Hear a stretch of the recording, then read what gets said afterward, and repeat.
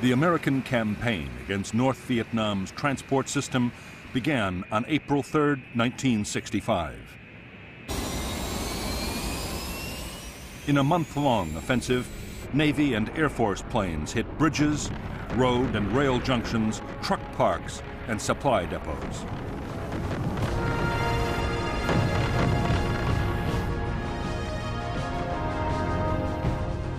For the Americans, one of the most important targets was the Ham Rong Bridge across the Song Ma River. The bridge was a choke point for troops and supplies moving southwards.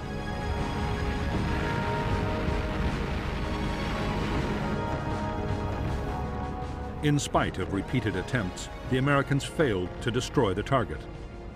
Two U.S. planes were lost to MiG fighters and more to anti-aircraft defenses.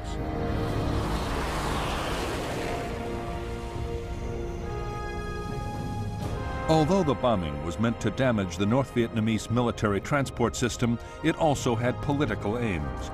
It was supposed to pressure the North to stop supporting NLF guerrillas fighting in the South.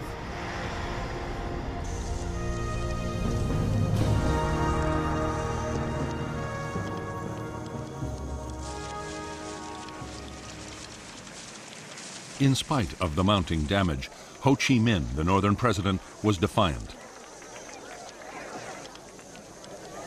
In South Vietnam, the NLF were doing well on the battlefield. South Vietnamese government forces were on the defensive. Ho meant to continue supporting the war as long as his Chinese and Soviet allies provided the weapons and financial support to carry on.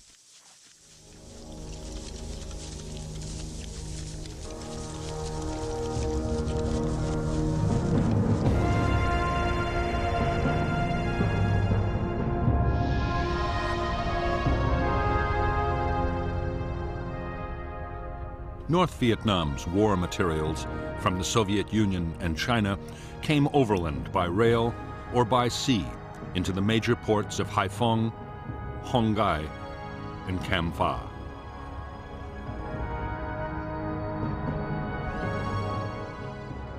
Supplies and troops destined for the war in the south were then sent on to staging areas, especially Dong Hoi.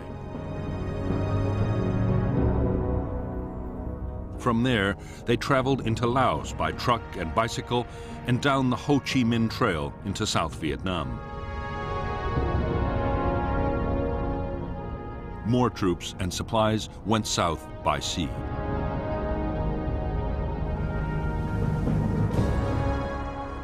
American aircraft had already attacked junctions, bridges, troop staging areas, and supply depots vital to the North supply effort.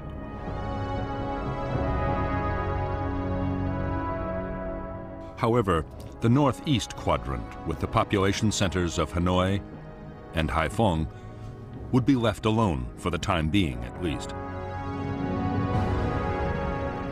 So too would the transport links to China, around which there were now heavy concentrations of Chinese anti-aircraft guns.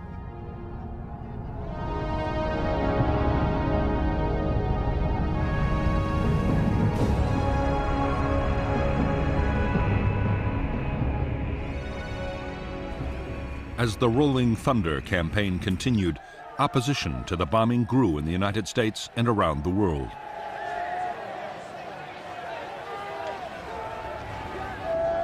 On May 13, 1965, U.S. President Lyndon Johnson agreed to halt the bombing for five days. As Johnson had expected, North Vietnam firmly rejected his overture.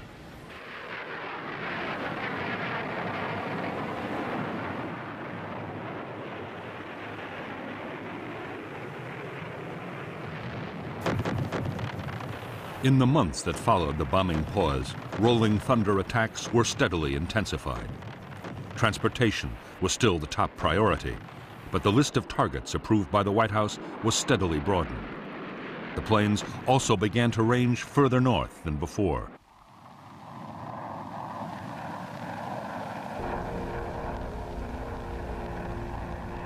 Soon, U.S. fighters had shot down their first MiGs of the air war.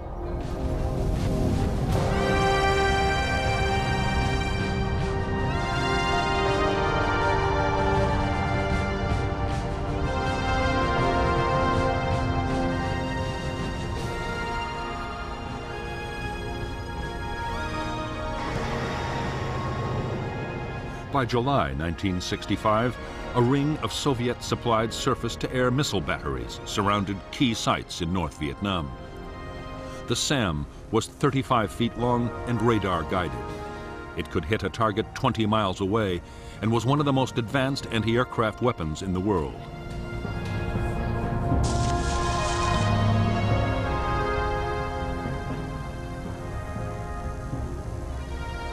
If the SAM's warhead detonated anywhere within 200 feet of an aircraft, it would almost certainly bring it down in flames.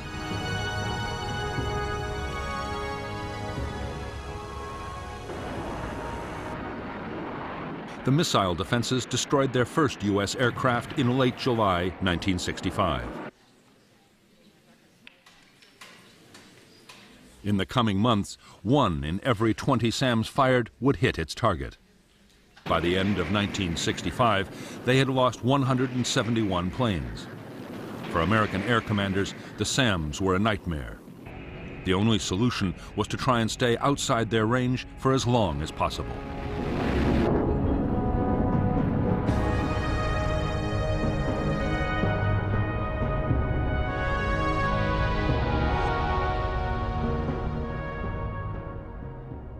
American aircraft were now attacking some carefully selected targets inside the northeastern quadrant of North Vietnam.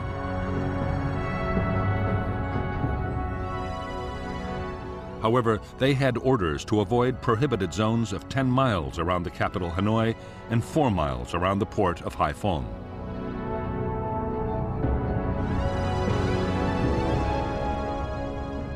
In bigger zones around both cities, attacks were severely restricted, and the aircraft also had to stay out of a buffer zone along the border with China.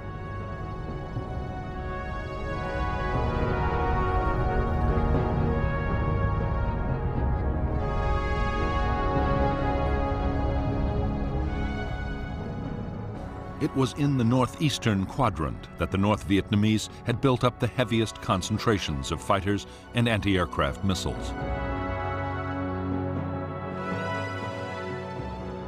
The Americans knew the operating ranges of the MiGs and the SAMs. Attacking aircraft took elaborate measures to avoid them until the last possible moment.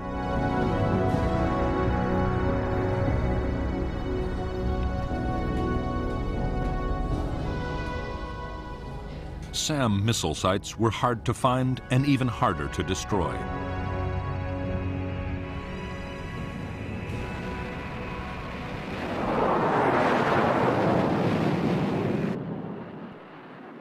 To make the problem worse, those inside prohibited zones around Hanoi and Haiphong could not be attacked at all. It would be months before the restriction was lifted.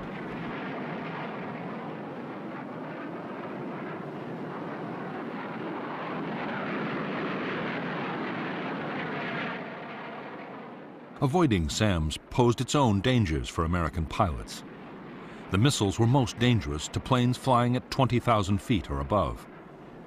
A low-flying aircraft was less at risk, but then it was inside the range of the anti-aircraft guns.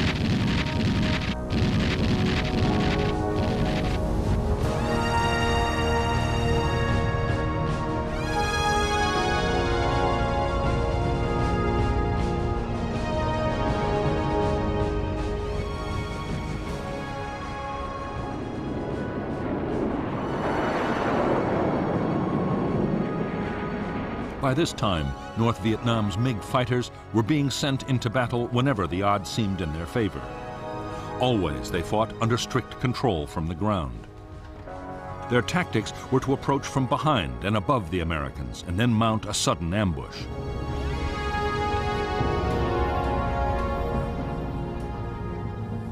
To the intense frustration of U.S. air commanders, American planes were strictly forbidden to attack North Vietnamese fighter bases. The fear in the White House was that Chinese or Soviet advisors might be killed, provoking retaliation.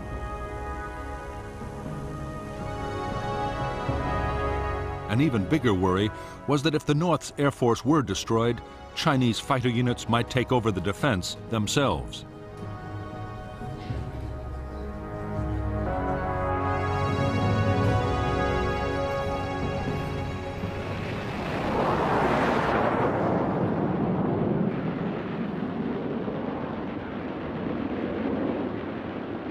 By September 1965, MiGs had destroyed 11 U.S. aircraft in combat, but more than 20 MiGs had been shot down by American planes. Nearly two-thirds of the whole North Vietnamese fighter force was gone. In October 1965, General Giap, the North Vietnamese defense chief, was forced to order the 921st Fighter Wing to cut back combat operations.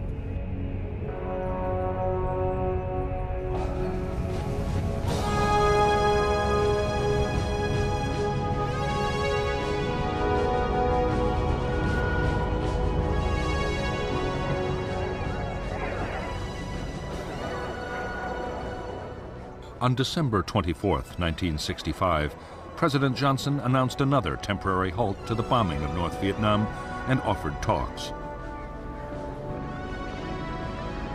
Meanwhile, the war in the South was gathering pace. By the start of 1966, 184,000 U.S. troops had arrived in country.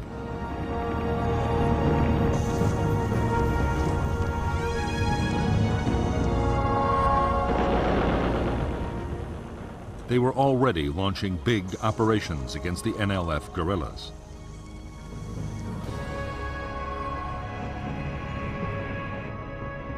Months before, American leaders had decided that the air war in the South would, if necessary, take priority over operations against the North. Hundreds of transport aircraft and fighter bombers supported American troops. Strike aircraft could be called in by any combat unit in the field, Time after time, their bombs, rockets, and napalm saved American units being overrun by the Viet Cong, but they also hit thousands of civilians in their homes.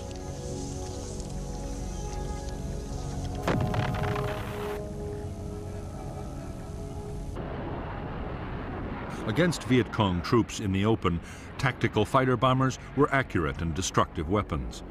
However, against fortified guerrilla bases spread out under the forest canopy, they were almost useless.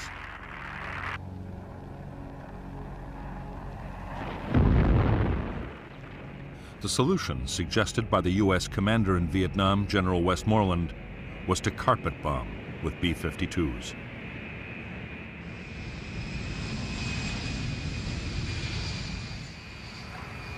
The B-52 could carry 51 750 and 500 pound bombs, a 13 and a half ton payload.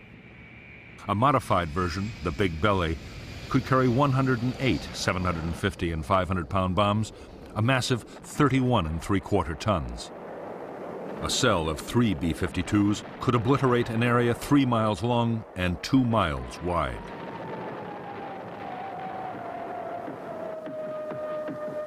B-52 raids were codenamed Arclight.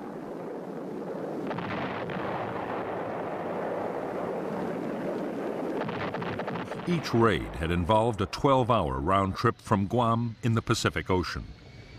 The missions were possible only because for every bomber in the fleet, there was a tanker from Okinawa to refuel it in flight. The mission of the B-52 force was soon broadened to include the Ho Chi Minh Trail in Laos and passes feeding the trail just inside North Vietnam.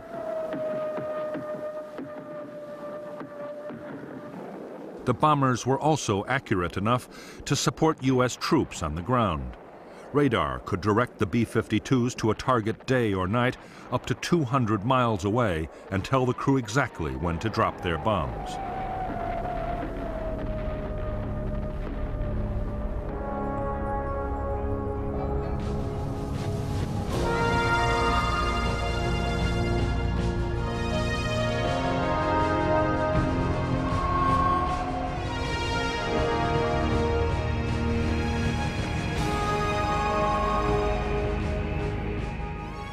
Pause in the bombing that President Johnson had ordered in December 1965 lasted 37 days. When the bombing restarted, it had coincided with appalling weather. North Vietnam was given a priceless breathing space in which to boost its defenses.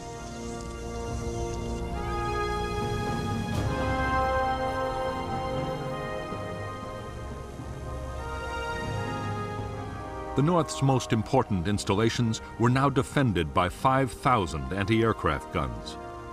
They included new radar-guided 85 and 100 millimeter weapons able to bring down an aircraft at nearly 20,000 feet. More SAM missile sites had also been put in place. By now, 30 new fighter pilots had come back from training in the Soviet Union and China, along with more aircraft to rebuild the fighter force.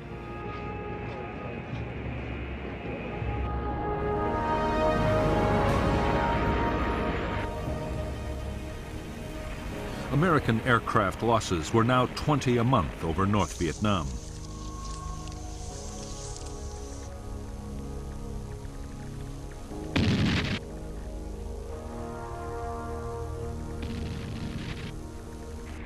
One in 40 planes flying into the heavily defended northeast quadrant was lost.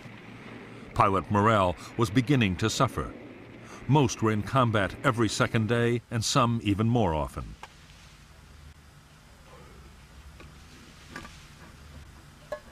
Realizing that dangerous problems were developing, the Americans moved to send more carrier pilots to Southeast Asia. They also overhauled the supply system.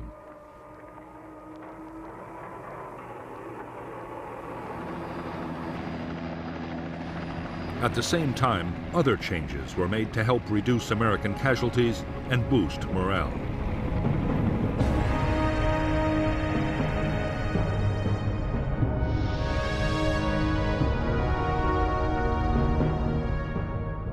In April 1966, Yankee Station and the carriers of Task Force 77 were moved nearer to North Vietnam.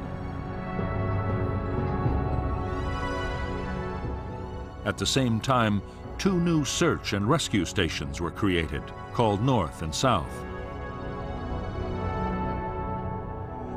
The stations were placed on the routes most used by U.S. strike aircraft.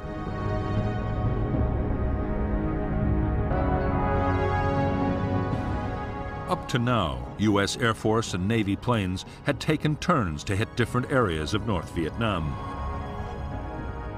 There were always problems of coordination. Now, the system was improved by allocating route packages. Route Package 1 was given to Military Assistance Command in the South as part of the war on the demilitarized zone.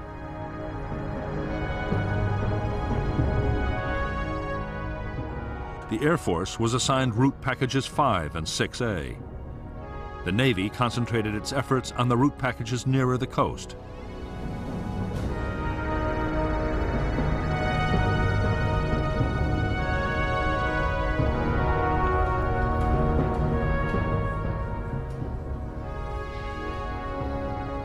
The route package system allowed American pilots to learn the defenses of their own target areas. Combined with the area's search and rescue operations, it did help save pilots' lives, but did little to reduce aircraft losses. In May and June 1966, 18 planes were shot down. Seven pilots were picked up by the search and rescue forces.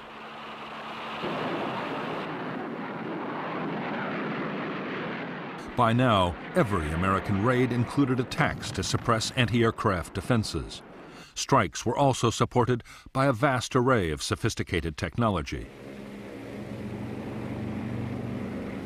Early warning radar aircraft could alert pilots to MiGs or SAM launches. Electronic warfare planes tried to jam anti-aircraft radars. Wild Weasel strike aircraft, armed with the new Shrike radar-seeking missiles, were deployed to hit the SAM sites.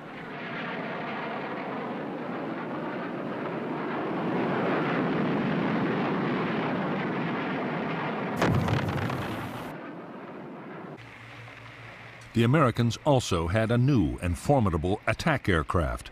The A-6 Intruder had the world's most sophisticated electronic navigation and targeting systems.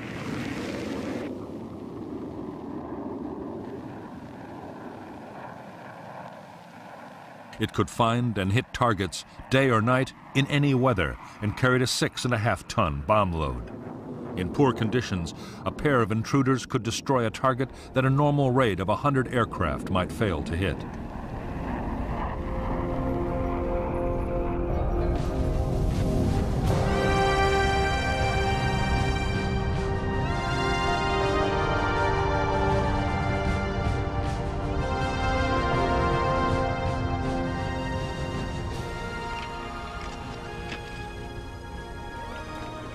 More than a year after Rolling Thunder had begun, North Vietnam's leaders were gaining confidence. The bombing had unified the North Vietnamese people. Damaged railway stock, trucks, and industrial equipment were being replaced by the Soviet Union and China. Almost every day, a supply ship arrived in Haiphong harbor.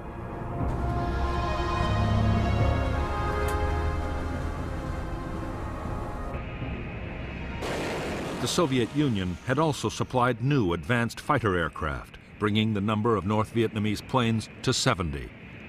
The MiG-21 all-weather interceptor was able to fly at twice the speed of sound and was highly maneuverable.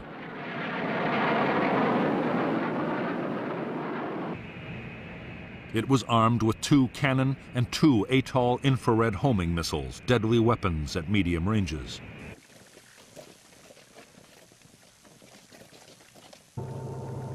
In spite of the American bombing, the North Vietnamese had actually increased the flow of men and supplies to the southern battlefield. Destroyed bridges were bypassed by pontoons and fords, and trucks moved mostly at night.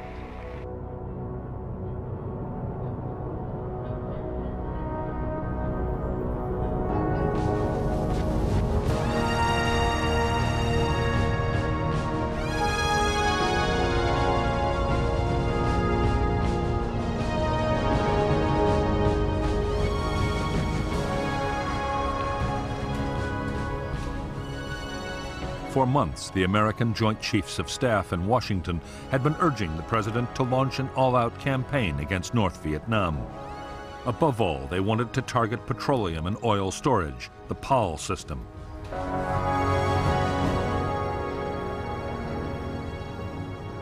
U.S. commanders were confident that an offensive against POL targets would deal a crippling blow to the North Vietnamese war effort.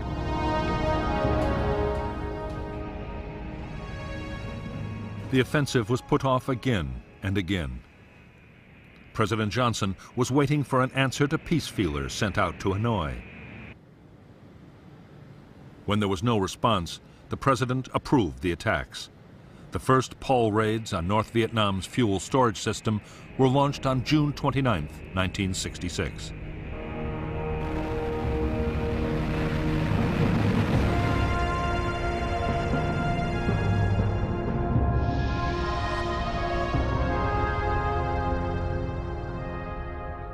North Vietnam had 13 major oil storage facilities. Two had already been destroyed and another badly damaged. The new American campaign was launched by U.S. Air Force planes flying from Thailand and by the Navy carriers Ranger, Constellation, and Hancock. In the first strikes, Tanks at Hanoi, Haiphong, and Do Son were hit. The following days saw attacks on yet more sites. The remaining facilities and fuel-carrying trains from China were next.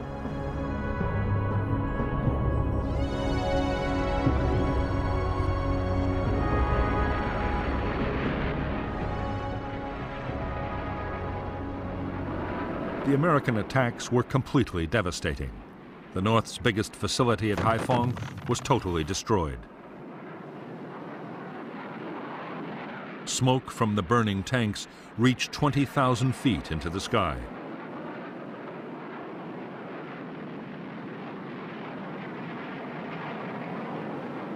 The POL strikes lasted for several weeks. 76% of the designated oil facility targets in North Vietnam's main storage and pumping facilities were wrecked. So were half the barges used to ferry oil from tankers offshore.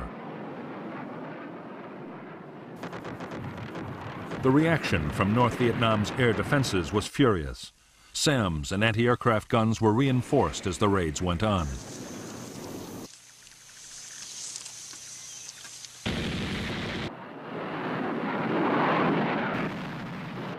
The MiGs, flying from airfields still off limits to U.S. bombs, could attack at will. American losses were heavy.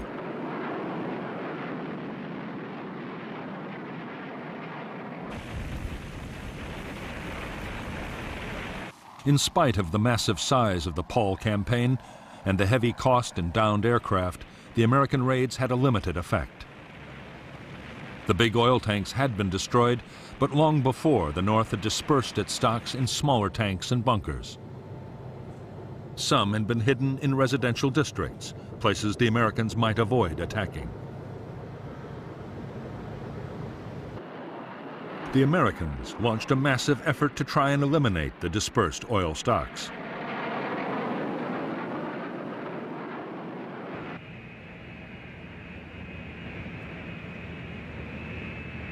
After heavy losses of planes and men, they had destroyed only a fraction. North Vietnam still had more than enough to supply its own needs and the needs of the trucks supplying the southern battlefield.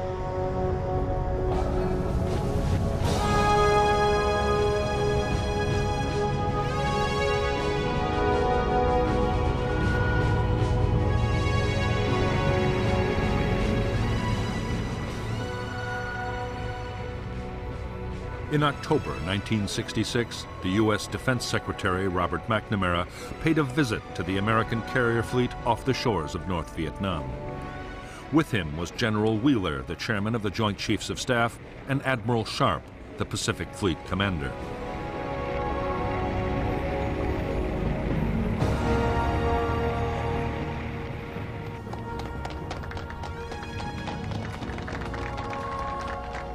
Over the past few months, McNamara had grown more and more disillusioned with the Rolling Thunder campaign. The North Vietnamese still showed no signs of abandoning the war. The failure of the POL offensive had been the final straw. By now, the cost of Rolling Thunder had soared to $1,247 million and more aircraft and crew lost every month.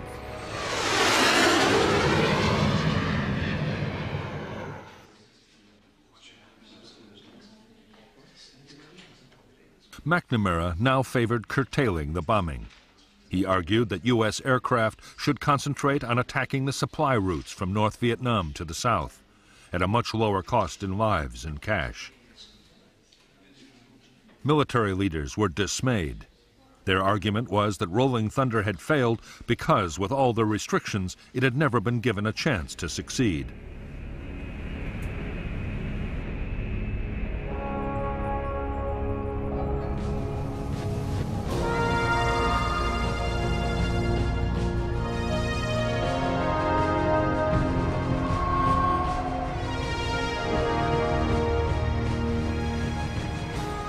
1966, as Operation Rolling Thunder intensified, American and Australian warships joined in the campaign against North Vietnam.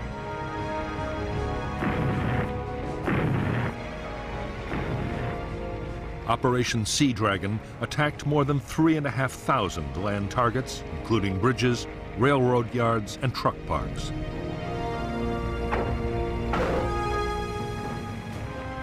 More than 300 coastal defense and radar installations were damaged or destroyed.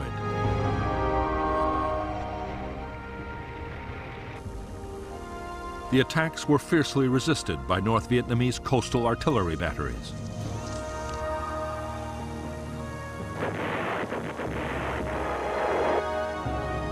During the two years of Sea Dragon attacks, the guns would hit 19 ships.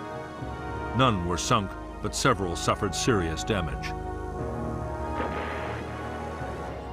In early February 1967, President Johnson declared a six-day halt in attacks on North Vietnam. The North Vietnamese immediately raced supplies and men to the south as they had done during every pause before.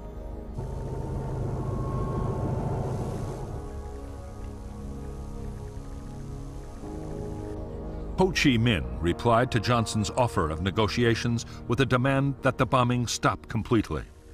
Ho made no promise that even then he would talk.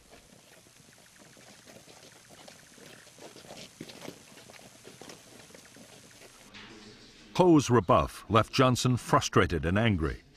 It was now a contest of wills. To increase the pressure on North Vietnam, Johnson sanctioned attacks on a new list of bombing targets.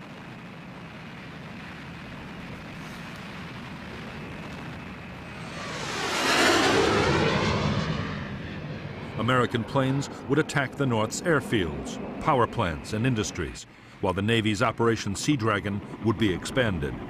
It was a major step towards an all-out campaign.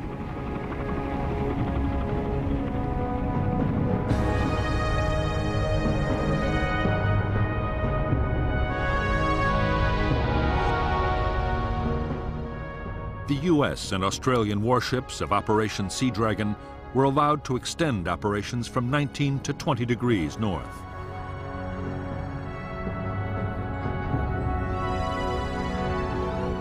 Aircraft were sent to mine river mouths and later inland waterways as well, up to the same line.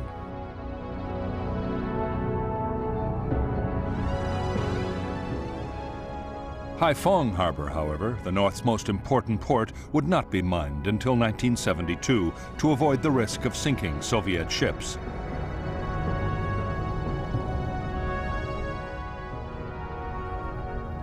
The new targets for U.S. bombers were the airfields, power plants, and industries of the northeastern quadrant.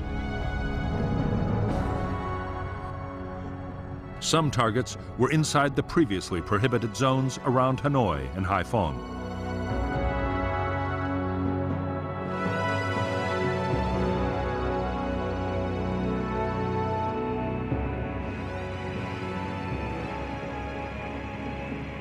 The American attacks on North Vietnam's airfields began on April 24, 1967. By the end of the year, all but one of the North's MiG bases had been hit. The attacks inflicted heavy damage on runways and installations. There were furious air combats over Hanoi and Haiphong as every available MiG was thrown into action.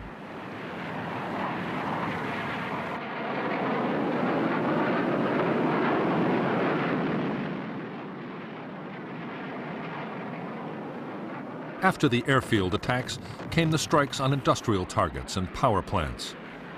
32% of the North's electrical power generating capacity was cut, but the remaining plants were adequate to supply most of the North's small industrial plants.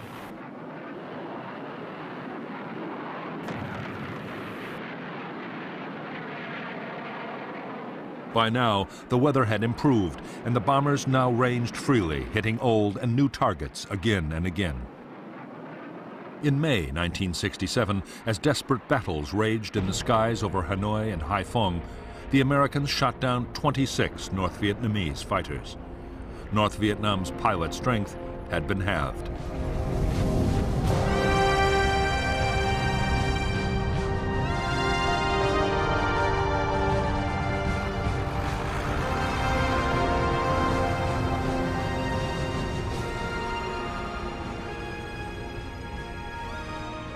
While the latest offensive against North Vietnam was still underway, in Washington a bitter argument was raging about strategy in Vietnam. President Johnson's civilian and military advisors were now completely at odds. The military wanted a major escalation of the air and ground war in an all-out push for victory. The civilians, especially Robert McNamara, were calling for the war effort to be leveled off.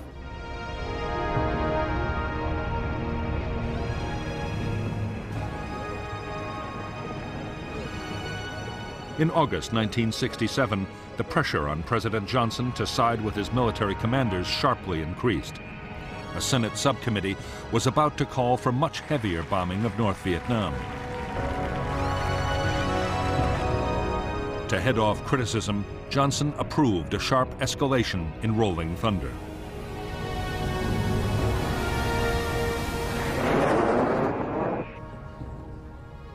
For the Defense Secretary, Robert McNamara, the decision to escalate was the end of the road. His advice had been ignored, and plainly he no longer had the confidence of the president. McNamara had no option but to resign.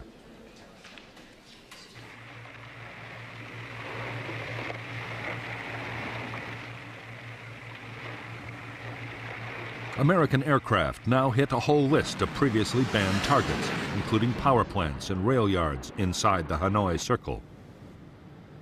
The Paul Doumer Bridge linking Hanoi and Haiphong was attacked and two of its spans dropped into the Red River. However, engineers hastily carried out temporary repairs and the bridge continued to carry traffic until it was hit again in October 1967 targets inside the Chinese border buffer zone were also hit. American planes attacked to within eight miles of the frontier. Two American aircraft strayed into China and were shot down by Chinese MiGs. The attacks of late 1967 were so intense that for a time the northern air defenses ran desperately short of SAMs and anti-aircraft ammunition.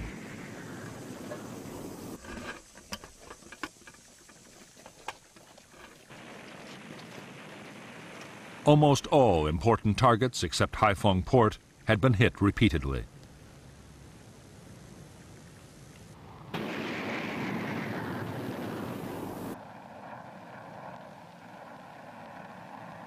The Americans were now using a new generation of smart bombs, including the Walleye television-guided weapon, which had been operational in Vietnam since 1966.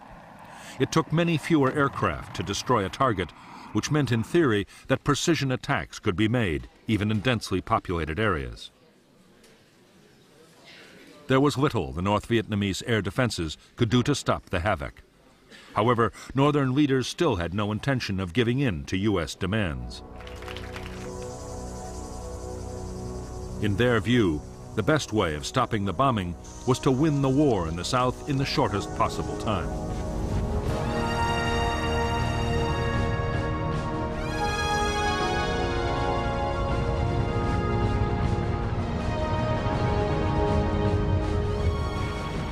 January 1968, 84,000 NLF and North Vietnamese Army troops launched their long-planned Tet Offensive. They attacked towns and cities all over South Vietnam and held huge tracts of Saigon, the capital, for weeks.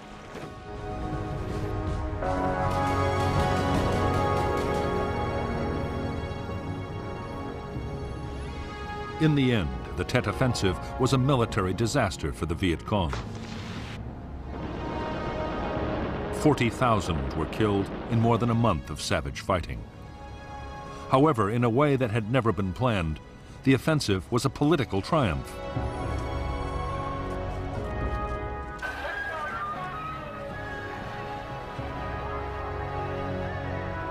In the United States, public opinion had been turning against the war for months.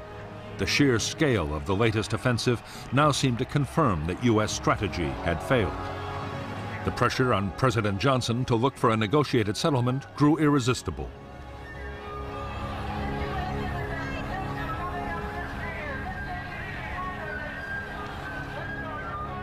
On March 31, 1968, Johnson announced that as a goodwill gesture, he was restricting the bombing campaign to the extreme south of North Vietnam. American sons in the field far away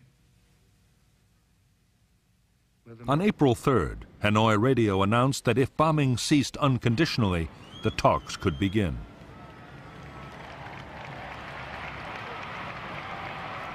The Paris peace process began on March 10, 1968. Almost at once, they stalled hopelessly.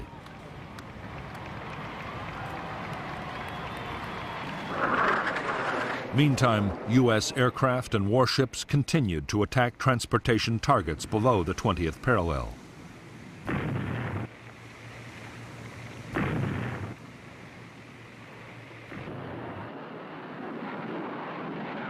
In October 1968, after several months of wrangling and on the eve of the U.S. presidential elections, there was a breakthrough. The North Vietnamese agreed that in exchange for a complete halt to the bombing, they, for their part, would no longer infiltrate troops across the DMZ or shell major cities in the south. Johnson knew that being seen to oppose peace could damage his party's chances in the coming elections. Reluctantly, he agreed to stop the bombing.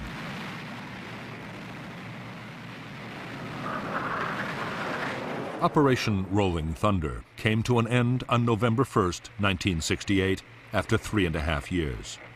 The campaign had cost more than 900 American aircraft.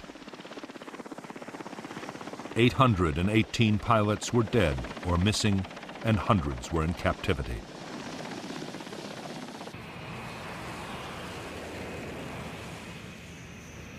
On the northern side, nearly 120 North Vietnamese planes had been destroyed in air combat, in accidents, or by friendly fire. On the ground, according to McNamara's estimates, 182,000 civilians had been killed during Operation Rolling Thunder. 20,000 Chinese support personnel had also been casualties of the bombing.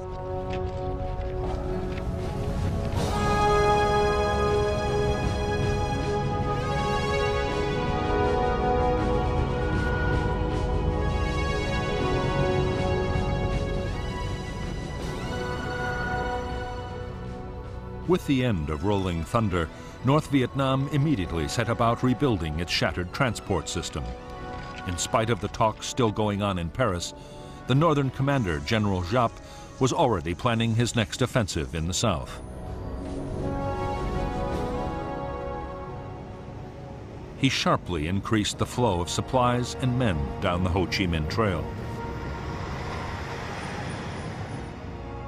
With thousands of U.S. aircraft and pilots no longer tied up attacking North Vietnam, U.S. commanders could concentrate massive air power on Laos.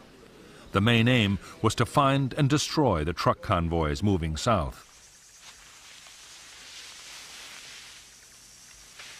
Special Forces teams had always scouted into Laos to guide attack aircraft onto targets. But by this time, the U.S. had also deployed the world's most sophisticated electronic surveillance system.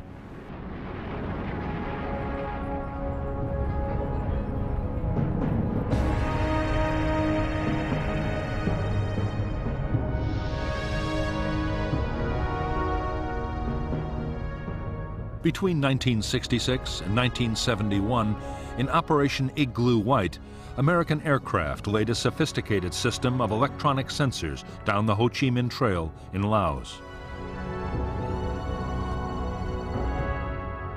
The targets were the truck convoys streaming south from North Vietnam. Signals from the sensors were picked up by orbiting aircraft and relayed to a listening center in Nakhon Phanom in Thailand. Other aircraft carried instruments to detect the electrical activity of truck engines. When a convoy was detected, the Americans would launch a raid by B-52s or fighter bombers into the target area.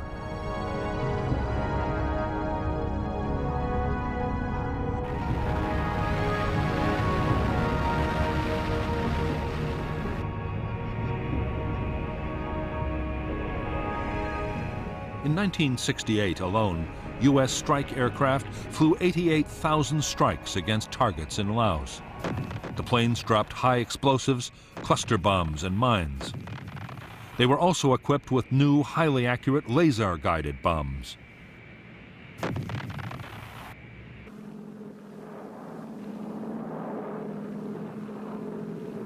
In the front line of the war against the trucks, the formidable gunships known as Spooky played a vital part.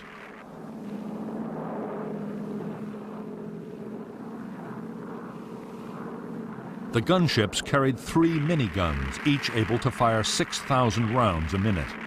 Flying in a circular pattern over the target, the gunship would rain down an awesome weight of fire.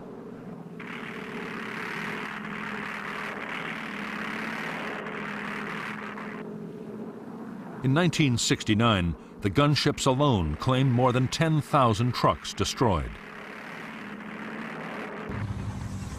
However, the North Vietnamese had built 400 miles of new roads in Laos, and not even American electronics and computers could cover it all.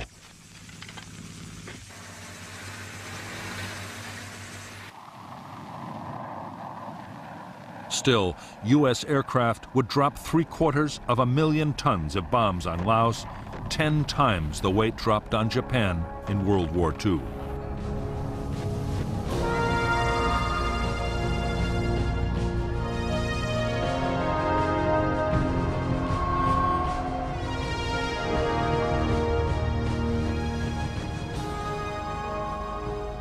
January 1969, Richard Nixon took office as the new President of the United States.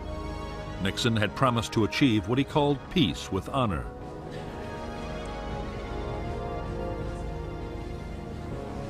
The aim was to negotiate a settlement that would allow the half million U.S. troops in Vietnam to be withdrawn, while still allowing South Vietnam to survive.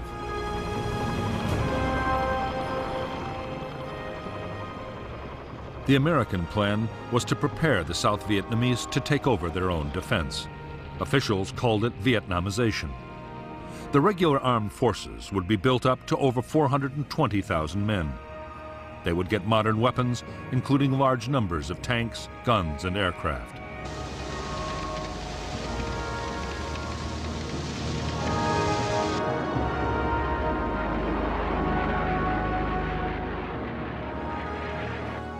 The North's strategy for 1969 was to keep up the pressure in South Vietnam.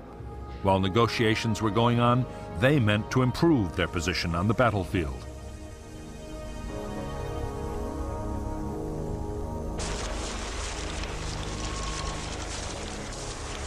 On the 22nd of February 1969, in a major offensive, assault teams and artillery attacked American bases all over South Vietnam killing 1,140 Americans. At the same time, in an echo of Tet a year earlier, a hundred towns and cities were hit. The American reaction was swift. Arclight strikes by B-52s were launched on guerrilla base areas. Armor-piercing bombs dropped from 30,000 feet annihilated bunker and tunnel complexes.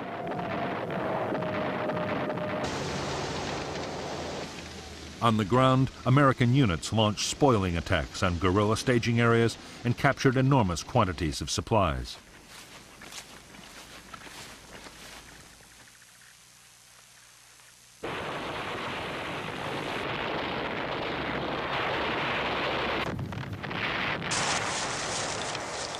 The heaviest fighting was around the capital, Saigon, but fights raged all over South Vietnam. In the first three weeks of battles, the Americans lost 1,100 men. However, American artillery and air power overwhelmed the Viet Cong offensive.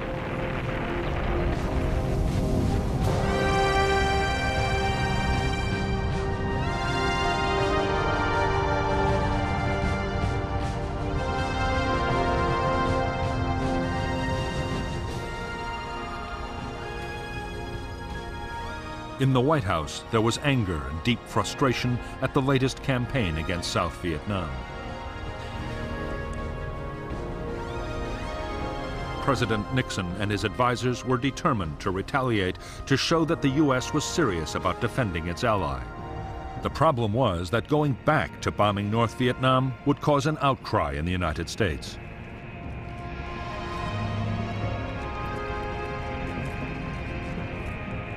Nixon's plan was to bomb Viet Cong staging areas in Cambodia.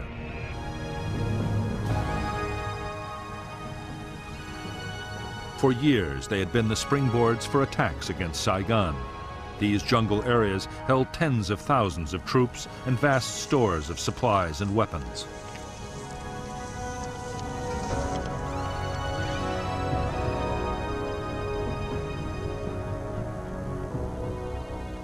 But Washington had forbidden U.S. forces to attack the Cambodian bases.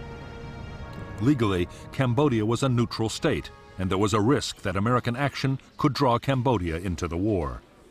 However, Nixon did not mean to hold back. Operation Menu, the bombing of Cambodia, was to be kept a strictly guarded secret.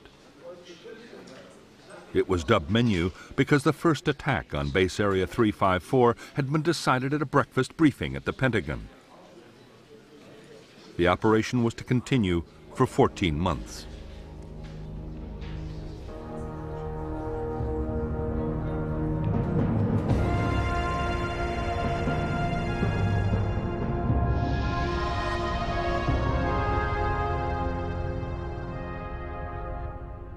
as well as the Ho Chi Minh Trail running from North Vietnam, NVA forces were also supplied by North Vietnamese and Soviet ships which were allowed to dock at Sihanoukville.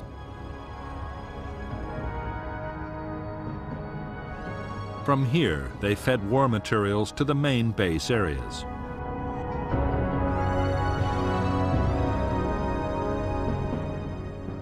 The biggest Viet Cong strongholds were west and north of Saigon in the areas known as the Parrot's Beak and the Fishhook. The bases were run by North Vietnamese troops and the NLF.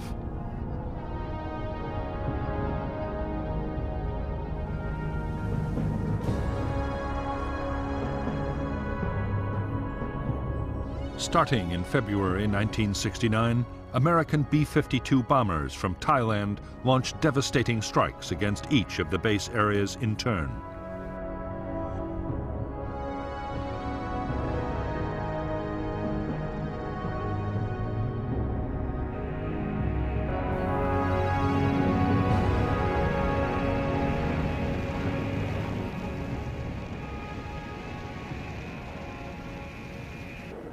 Operation Menu saw more than 4,000 B-52 missions dropping 120,000 tons of bombs.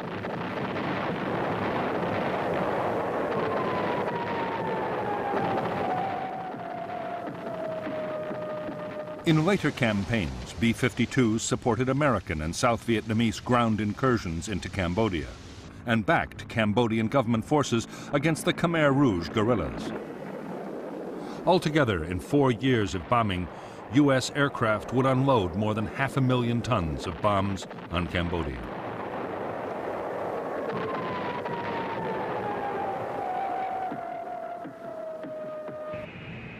On orders from the White House, extraordinary measures were taken to keep the Cambodian bombing a secret. Defense Department officials always claimed the raids were over South Vietnam.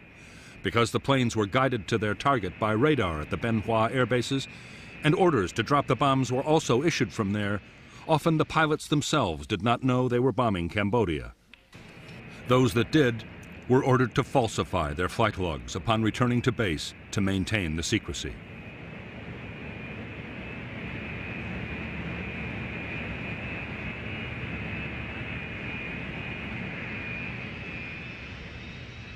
In spite of the elaborate precautions, in May 1969, reports of the secret bombing were published in the American press. Nixon was furious. Only recently, the American public had learned of the My Lai massacre, in which over 200 South Vietnamese villagers had been killed by U.S. troops back in 1968.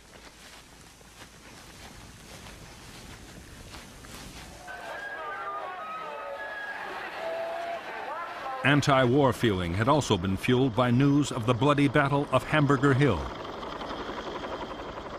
American troops had suffered heavy casualties capturing the hill, only for it to be abandoned later.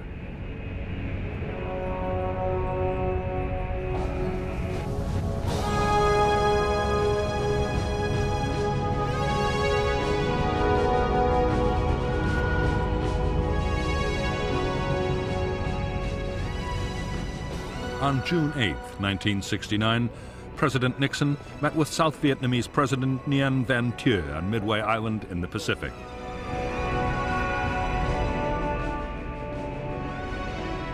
Nixon announced that 25,000 U.S. troops would be withdrawn from Vietnam immediately. The 9th Marines would be the first to head for home. It was the first U.S. troop reduction in the history of the war in Vietnam.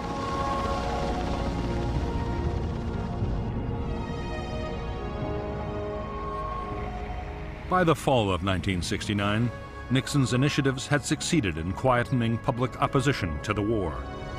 To keep up the momentum, the president announced a second batch of troop withdrawals and promised to reduce the draft call.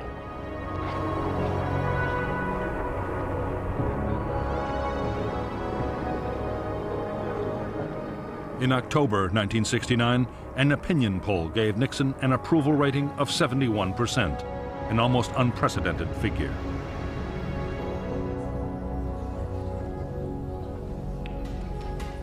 Although Nixon was preparing to pull out American troops, he had no intention of giving up on Vietnam. His plan was that even when most American troops had been withdrawn, Americans would continue to supply, train, and arm the South Vietnamese. Most important of all, a formidable shield of American air power would remain to deter communist attacks.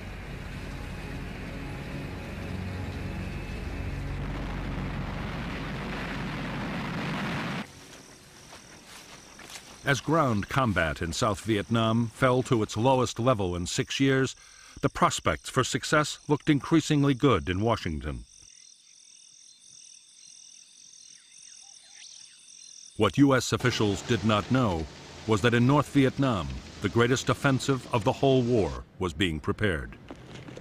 The plan was to use nearly 200,000 troops and hundreds of tanks in a full-scale invasion of South Vietnam.